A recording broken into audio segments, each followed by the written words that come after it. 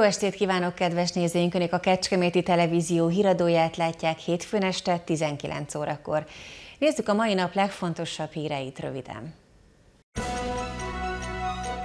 Jövő héten veszi kezdetét a Kodály Művészeti Fesztivál Kecskeméten. A szervezők gazdag program kínálattal és újításokkal várják a hazai és nemzetközi vendégeket.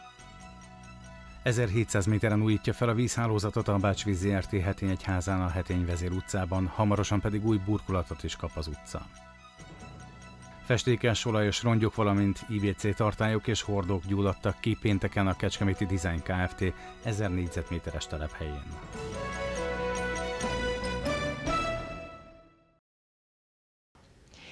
Jövő héten veszi kezdetét a Kodály Művészeti Fesztivál Kecskeméten. A szervezők gazdag programkínálattal és újításokkal várják a hazai és nemzetközi vendégeket.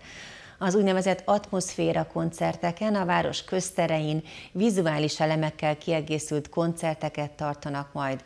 A Kodály Pont elnevezésű színpadon pedig a fiatal tehetségek is bemutatkozhatnak.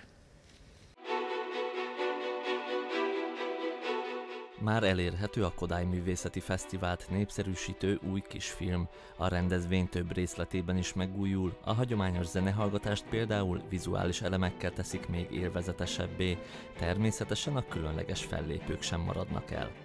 Berec Gábor és Gráb Zsuzsa koncertje, ahol olyan mű hangzik el, Kodály Énekszó című művé, amit nagyon-nagyon ritkán lehet hallani, ugyanígy nagyon ritkán lehet hallani Mahler dalokat, és nagyon örülünk neki, hogy Brec Gábor, aki legtöbbet külföldön tartózkodik, operaénekes, most lett ideje, és el tud jönni hozzánk. A fesztiválon felállítanak majd egy kodálypontot, ahol bárki megoszthatja zenéjét a közönséggel.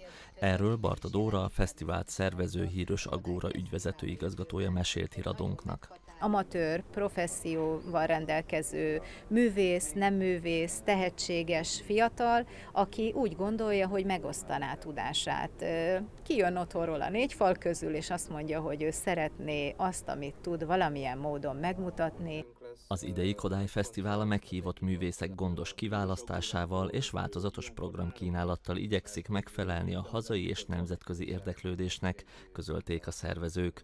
A fesztivál záró koncertjén például Szergej Nakariakov világhírű trombita művész is fellép majd. Újra Kecskemétre érkezik a Nemzeti Ifjúsági Kórus július 28-án a Kodály Művészeti Fesztivál részeként. A különleges formáció a Piarista templomban ad koncertet, amelyre bárki ingyenesen ellátogathat. Tihany, Debrecen, Békés Csaba és Budapest lesznek az országjáró turné további helyszínei.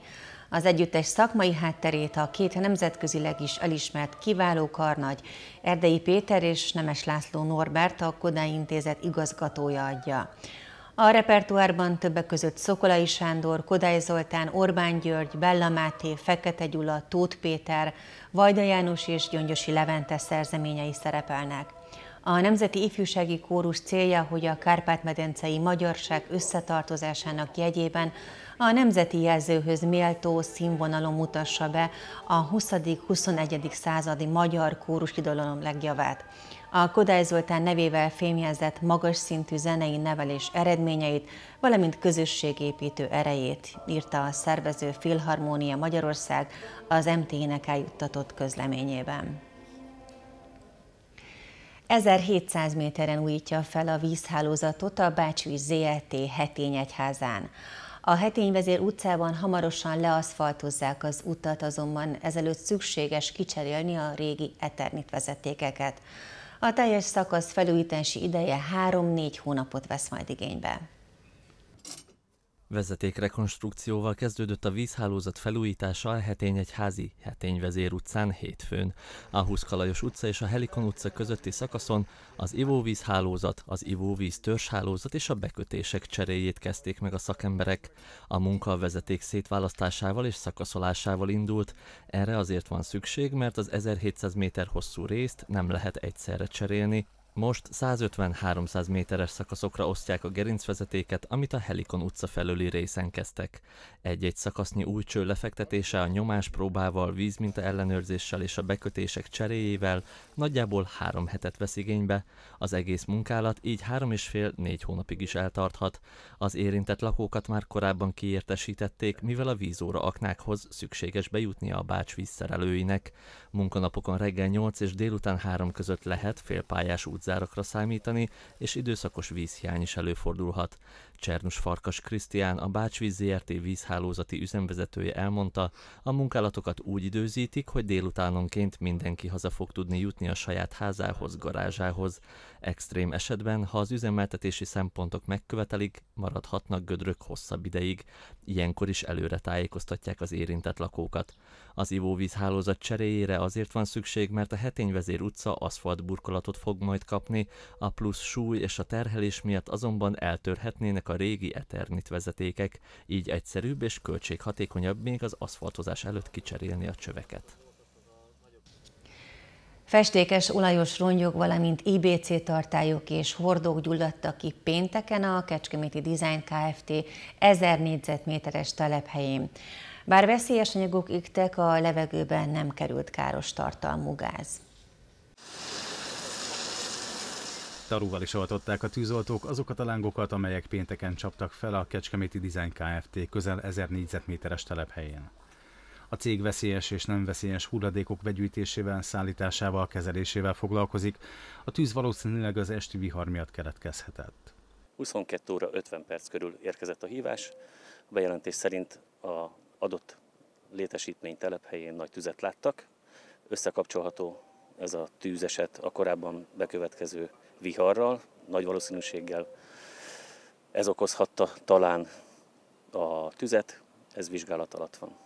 Ezt támasztották alá a szemtanúk is, akik azt is elmondták, hogy több robbanást is hallottak. Éppen hazafeltartottunk a barátommal, és a felüljárón láttuk meg a felcsapó lángokat és a nagy hatalmas füstfelhőt, és gondoltuk idejövünk megnézzük, mert előtte egyébként hatalmas villámlásokat is láttunk. A reptértől tartottunk hazafele, és akkor a barátnőm észrevette, hogy volt egy nagyon nagy villámlás, utána ö, meglátta a füstöt, és akkor egyből az volt az első, hogy persze idejövünk, megnézzük, hogy mi történt.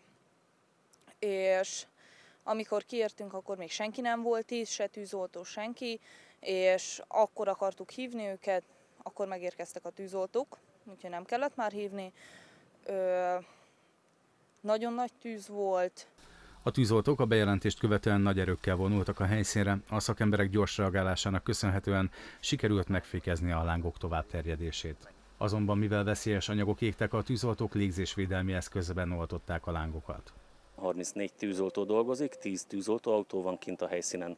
Ezen kívül két KML, magyarán mobil labor támogatja a tűzoltást. Ők mérik a levegőben a veszélyes anyag koncentrációt, valamint a műveleti szolgálat irányítja a keresetet. Az is kiderült, hogy festékes olajos rongyok, valamint IBC tartályok és hordók gyulladtak ki a telephelyen.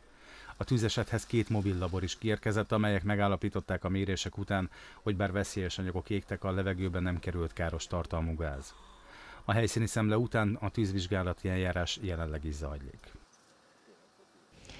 Steril szobára van szüksége a Tiszakécskei Jenes Annának. A 13 éves lány szíveltültetésre vár, állapota folyamatosan romlik. Anna születése óta szívbetegséggel él, három műtéten esett át eddig, de nincs tovább, új szívet kell kapnia.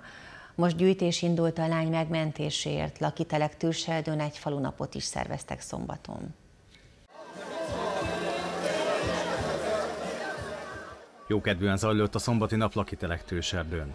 Az eseményt a Tiszakicske Igyenes Annáért rendezték meg. A 13 éves kislány születése óta fallott tetralógiában szenved, ami egy nagyon súlyos szívbetegség. Őt megműtötték már háromszor, két évvel ezelőtt kapott egy billentyűt, mindent megtettek, hogy az ő helyzete jobb legyen, az egészségileg rendbe jöjjön, de sajnos ugye ez már nem fallott tetrológia, hanem ebből nem is tudom, hogy fogalmazzam meg, tehát már itt most már ne, nem, nincs több műtét.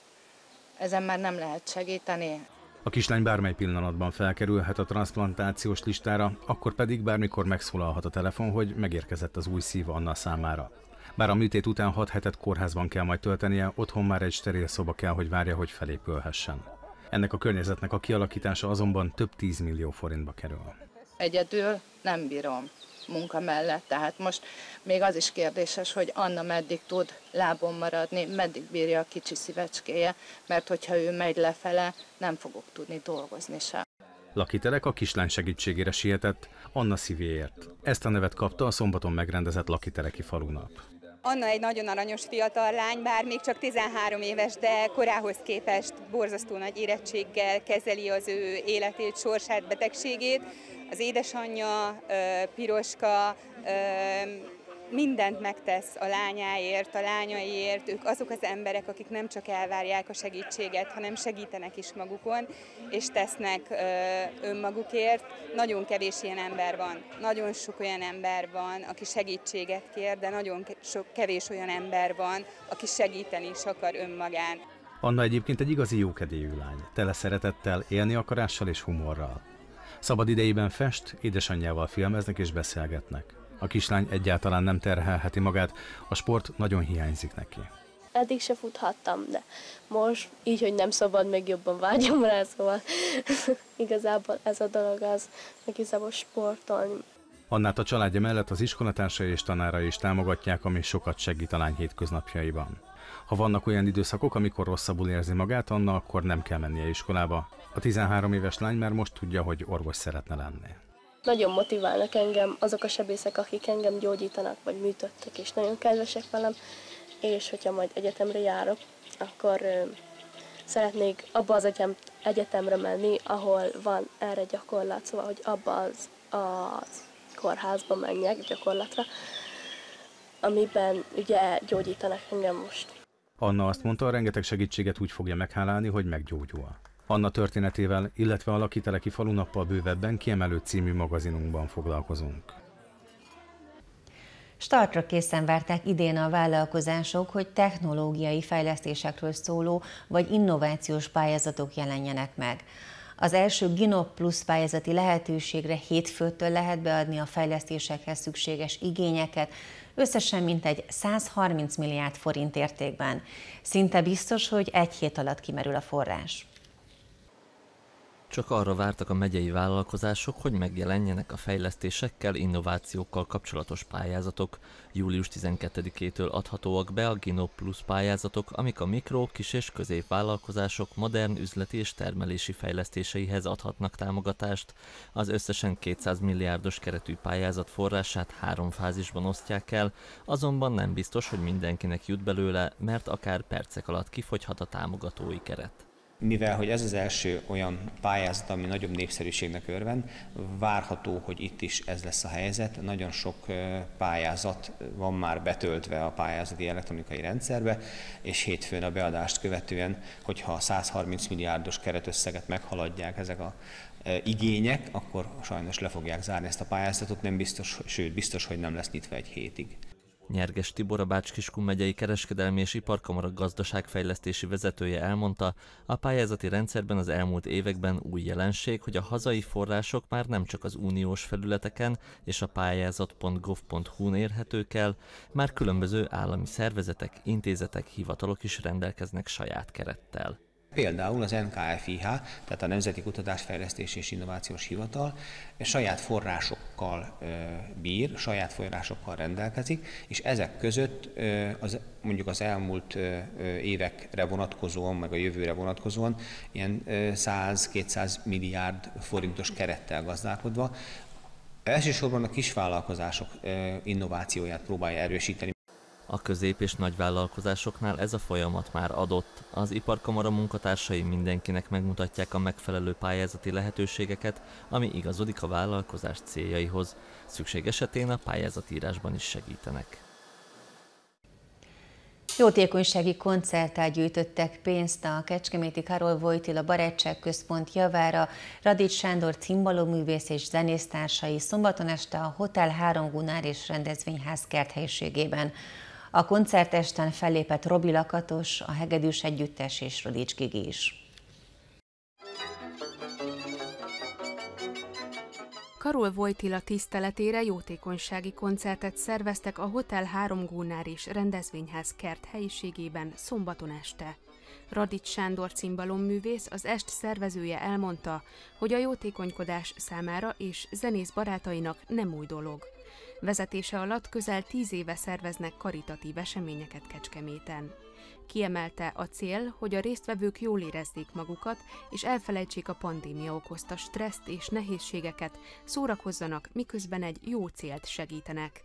Az esemény fővédnöke Szemerei Népataki Klaudia polgármester, védnöke pedig dr. Szeberényi Gyula Tamás alpolgármester volt. Az eseményen a város nevében Lévai Jánosné önkormányzati képviselő mondott megnyitó beszédet, amiben megköszönte Radics Sándor városértett munkáját, és hangsúlyozta a zene és az ének fontosságát is. Mindenféle műfajból csendültek fel dallamok az est folyamán. Megszólaltak klasszikus művek, jazz átiratok, filmzene átiratok, kodályművek, így mindenki megtalálta a számára tetsző, lélekgyógyító muzsikát. A jótékonysági esten Radics Gigi, Radics Sándor és Robi Lakatos egy különleges produkció keretében adták elő a New York, New York című dalt. Az est folyamán fellépett még Leskovszki Laura énekművész és a Hegedűs Együttes is. A jótékonysági rendezvényről bővebb összeállítást kiemelő című magazinműsorunkban láthatnak. Legenda született Izsákon. Megtartották a Szent László a Lovak Király című népi rockopera ősbemutatóját pénteken. A kezdés nem volt egyszerű az időjárás miatt, a közönség azonban kitartott és a vihar elült. A száz musical színést és lovast felvonultató nagyszabású produkciót vastapsal jutalmazták a nézők. Bemutatta a Nemzeti Lovas Színház a Szent László a Lovak Király című népi rockoperát pénteken Izsákon. A grandiózus produkció egy életre kelt történelmi film az uralkodó viszonylag pontos és hiteles biográfiájával. Nyilatkozta még korábban a Kecskeméti Televíziónak Pintér Tibor, a Nemzeti Lovas Színház igazgatója. Hozzátette, az előadásból természetesen nem maradhat ki a szerelem, a harc és az őrült csata jelenetek sem. Mint egy száz szereplővel kiváló kiváló musical színészekkel és lovasokkal, a teátrum 40 színészével és 20 lovával, valamint a produkcióhoz csatlakozó izsáki és kiskunhalasi szereplőkkel valósult meg a darab. Ahogy a Lovas Színház írja közösségi oldalán, pontosan 40 évet kellett várni arra, hogy végre újra igazán minőségi rockopera születhessen az István a király után. A Szent László legendás alakját megidéző előadás az Emberi Erőforrások Minisztériuma és a Magyarságkutató Intézet támogatásával jöhetett létre, Izsákváros időközben elhunyt polgármestere Mondok József kezdeményezésére. Fotókiállítás nyílt a Juniperus parkerdészet árudájában Polner Tamás fotóművész képeiből, amelyek Varga Lóránd El Camino de Santiago című könyvében jelentek meg. A tárlat augusztus végéig ingyenesen látogatható. Bekőné Polnár Katalin erdészeti igazgató stábunknak elmondta, hogy augusztus 26 és 27 között lesz egy szakmai rendezvényük, erre az alkalomra vették elő újra testvére fotóit, azonban úgy gondolták, ha már újra kiállítják azokat, ne csak két napig legyenek megtekinthetők. Az erdészeti igazgató azt is kiemelte, hogy az elmúlt egy-másfél év sokunkat a jelenünk, jövőnk átértékelésére késztetett. Ez is aktualitását adja a kiállításnak. Az El Camino eredetileg egy katolikus zarándokút, ma már azonban nem csak vallásos emberek vesznek részt rajta, hanem olyanok is, akik keresnek valamit, például önmagukat, vagy válaszokat a kérdéseikre. A tárlatot nyitvatartási időben 8 és 16 óra között lehet megnézni. Európa bajnok lett Palkovics István a karc futója. A fiatal sporttehetség a Tallini Atlétikai Európa bajnokságon állhatott a dobogó legfelső fokára. Híradónkkal egy időben landol már Magyarországon az a repülőgép, amely hazánk legújabb Európa bajnokát hozza Ferihegyre. Palkovics István a karc futója a Tallini U23-as Európa bajnokságon 3000 méteres akadályfutásban állhatott a dobogó legfelső fokára ügyesen tudtam spórolni a, a energiát, plusz nem használtam fölösleges, mert a, a előfutamokban kimaradtam a lögdösötésből, elég hamar előreálltam, és ezáltal kicsit jobban jöttek a akadályok is. István elmondta, mivel Európa legjobbjaként tartották számon a verseny előtt is, így nagy előnyt jelentett számára, hogy őt akarták legyőzni a többiek, így fejben az előny nála lehetett. A fiatal futó pedig rá is szolgált a vélekedésre, maga biztosan hozta el az aranyat. Palkovics István köszönetet mondott az őt segítőknek, Jerkus Lászlónak, aki a gátozásban segítette, valamint az olimpia barátok körének, akik anyagilag támogatták az útját a versenyre. A sportoló azt is hozzátette, ez a verseny is egy mérföldkő. Van még sok terve, amit el szeretne érni. Csalódott vagyok, mert nem sikerült megjavítani a utánpótlás országos csúcsot, ugye 800-addal el vagyok vele maradva, de bennem van. Biztos, hogy Palkovics Istvánban még sok van, amiről hallani is fogunk. Azt azonban hozzátette, nagyon örül jelenlegi Európa bajnoki címének is. Most pedig nézzük a mai nap legfőbb híreit, még egyszer röviden. Jövő héten veszi kezdetét a Kodály Művészeti Fesztivál Kecskeméten. A szervezők gazdag program kínálattal és újításokkal várják a hazai és nemzetközi vendégeket. 1700 méteren újítja fel a vízhálózatot a Bács ZRT házán a Hetényvezér utcában, hamarosan pedig új burkolatot is kap az utca. A teljes szakasz felújítása 3-4 hónapot vesz majd igénybe. Festékes, olajos rongyok, valamint IBC tartályok és hordók gyulladtak ki pénteken a Kecskeméti Design Kft. 1000 négyzetméteres telephelyén, bár veszélyes anyagok égtek, a levegőbe nem került káros tartalmú gáz. Steril szobára van szüksége a Tiszakécske egyenes Annának. A 13 éves lány szívátöltetésre vár most gyűjtés indult a lány megmentéséért. Lakitelek Tőserdőn egy falunapot is szerveztek szombaton.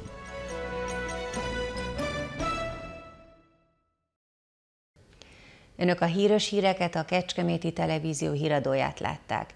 Műsorunkat hamarosan kiemelő című műsorunkkal folytatjuk. Mai vendégünk Barta Dóra, a Híros Agóra Kulturális és Ifjúsági Központ ügyvezető igazgatója lesz. Jövő héten veszi kezdetét a Kodály Művészeti Fesztivál, amely sok újdonságot tartogat, erről beszélgetünk majd vele. Ezt követően a jótékonyság kerül majd a középpontba, hiszen sokan vannak, akik rászorulnak a segítségünkre. Olvassák és nézzék hírportálunkat a címe híros.hu. A híres híreket 20 óra 31 perckor, 22 órakor, éjszaka a képújság idejében 2 óránként, valamint reggel 7 és 9 órakor ismételjük meg. A kecskeméti tv.hu weboldalon pedig bármikor ismét megtekinthetik. Kedves nézőink, köszönöm a esti megtisztelő figyelmüket, viszontlátásra!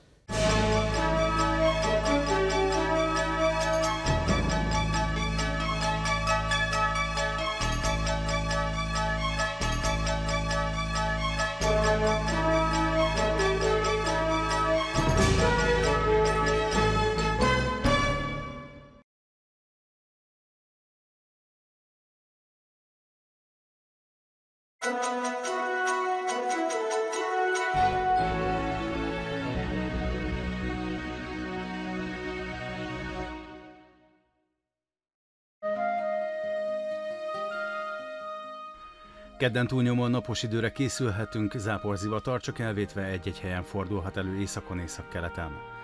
Többfelé élénk nyugaton északnyugaton erős lesz a déli eszél. Délutánra 31 és 38 fok közé melegedhet a levegő.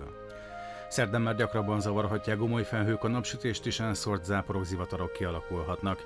Élénk erős lesz a déli délkeleti szél délután 31-38 fok valószínű. Csütörtökön a túlnyomóan napos idő mellett csak helyenként alakulhat ki egy-egy záporzivatar, keleten élénk néhol erős lehet a légmozgás. A maximumok 29-35 fok között valószínűek.